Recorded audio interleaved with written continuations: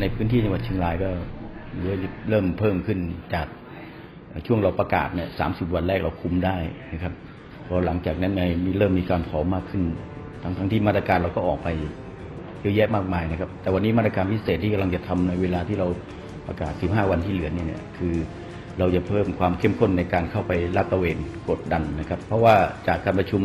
เราพอทราบว่าคนที่เข้าไปเนี่ยเขาวัตถุประสงค์คือเขาไปจุดไฟ เหมือนเข้าไปจุดไฟโดยเฉพาะโดยเฉพาะในพื้นที่ที่มันคาบเกี่ยวหลายๆอำเภอหรือคาบเกี่ยวจังหวัดพื้นที่ต่อเนื่องเนี่ยทำให้หรือที่เรียกว่าจุดเกรงใจนะครับ วันนี้คนที่เข้าไปดับไฟป่า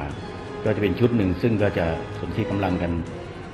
กับชาวบ้านที่อยู่ในพื้นที่หน่วยดับไฟป่า แล้วก็ท้องที่ท้องถิ่นต่างๆแล้วก็อีกชุดหนึ่งที่จัดจัดตั้งคือเป็นชุดลาดตระเวนคือ เข้าไปฝังตัวอยู่ในพื้นที่ที่เราไปดับแล้วนะเพราะ เราพบว่าพื้นที่หลายพื้นที่ที่ไปดับแล้วปรากฏว่ามีการจุดซ้ำขึ้นมาอีกไฟเกิดซ้ำขึ้นอีกนะครับมีข้อสันนิษฐานอยู่สองอย่างคือหนึ่งอาจจะดับไม่หมดอยู่ในพื้นที่สูง จะมีการลุกลามอย่างต่อเนื่อง หรือสองอาจจะมีคนอยู่ในพื้นที่แล้วก็พยายามจะจุดขึ้นอีกนะครับตรงนั้นเราก็อาจจะเอาคนเข้าไปนะครับ ซึ่งก็มีทั้งหน่วยทหารนะตำรวจในพื้นที่ที่เราจะประสานแล้วก็อสนะครับผู้นำท้องที่ท้องถิ่นที่เข้าไป อาจจะต้องเข้าไป ตั้งฐานลอยขึ้นในพื้นที่ใกล้ๆบริเวณนั้นเพื่อกดดันไม่ให้มีการจุดซ้ำนะครับอันนี้ทางที่ทำอยู่ แล้วก็มาตรการที่จะทำพิเศษขึ้นก็คือเรื่องของหากเกิดจุดฮอตสปอตขึ้นก็รีบดับอย่างให้ทันทีทันใดให้เร็วดับให้เร็วที่สุดรวมทั้งการที่ประชาสัมพันธ์ให้พี่น้องได้เข้าใจร่วมกันนะครับในเรื่องของผู้ที่ถูกจับกุมดำเนินคดีเราก็จะมีการประกาศประชาสัมพันธ์ นะครับให้รู้ด้วยกันแล้วก็ขอให้ช่วยกันลดเผาเพราะว่าค่าฝุ่นละอองตัวนี้เยอะขึ้นเหลือเกินนะครับมันมีทั้งจาก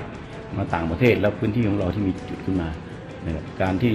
จะรณรงค์ให้ช่วยกันฉีดพ่นละอองล้างหลังคาบ้านล้างความสะอาดบ้านเรือนเพื่อสร้างความชุ่มชื้นในอากาศก็ยังมีความจำเป็นนะครับแล้วก็การประชาสัมพันธ์ให้ทุกคนให้เฝ้าระวังเรื่องของสุขภาพตัวเองนะครับการที่จะต้อง ไม่ให้มีฝุ่นละอองเข้าไปในร่างกายของเรานะครับจะใช้แมสนะทางสาธารณสุขก็จะมีการแจกแมสนะโดยให้ทางอสมในพื้นที่เรื่องลดควันดำนะครับให้ตำรวจบังคับใช้กฎหมายนะครับเพื่อเราลดปัญหาเรื่องเหล่านี้ นี่คือสิ่งที่ต้องเร่งทำอย่างเร่งด่วน